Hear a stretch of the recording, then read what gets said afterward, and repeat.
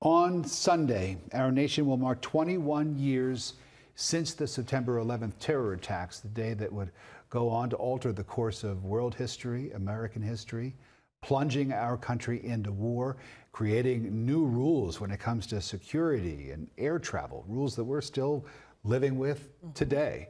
And every year on this day, a Georgia woman who survived the attack shares her story. CBS 46's Sawyer Bussey spent the afternoon with her. For some people, all of us in the office had no idea what had happened. Sharing a traumatic experience is a cathartic thing. I was 24 years old, and it was my third day on the job on the 51st floor of Tower 1. For some people, sharing their story is a way to push the trauma forward instead of letting it stick.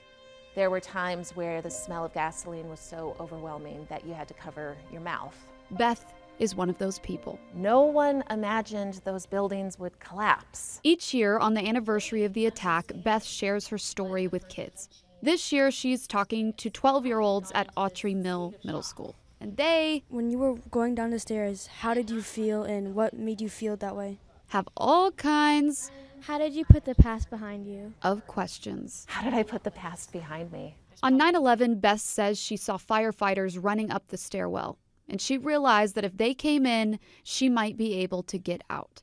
My goal is to have these students recognize what first responders do for all of us. They put themselves in the line of danger selflessly.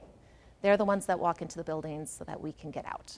Sawyer Bussey, CBS 46 News.